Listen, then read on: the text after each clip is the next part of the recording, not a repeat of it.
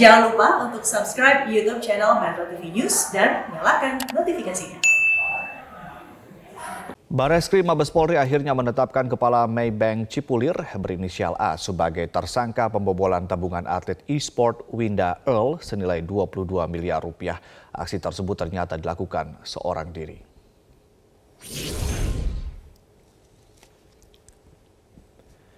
Karopenmas Divisi Humas Polri, Brigjen Pol Awi Setiono mengungkapkan Tersangka menyalahgunakan wewenangnya sebagai kepala bank untuk menguras habis uang 22 miliar rupiah dari tabungan. Uang tersebut lalu dikirim ke sejumlah temannya. Awi menyebutkan rekan tersangka yang dijadikan tempat untuk menaruh uang hasil pidana tersebut bukan dari Maybank. Namun ia belum mengungkap identitas rekan tersangka tersebut.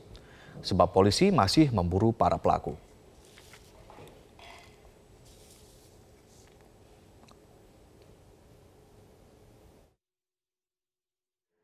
Untuk modus operandi tersangka AT menarik uang nasabah tanpa izin pemilik rekening, kemudian mentransfer eh, kawan-kawan tersangka untuk diputar dengan harapan mendapatkan keuntungan.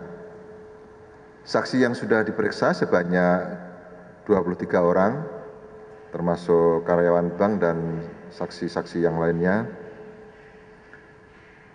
Saat ini penyidik sedang melaksanakan tracing aset dan menelusuri aliran dana yang digunakan uh, saudara tersangka AT.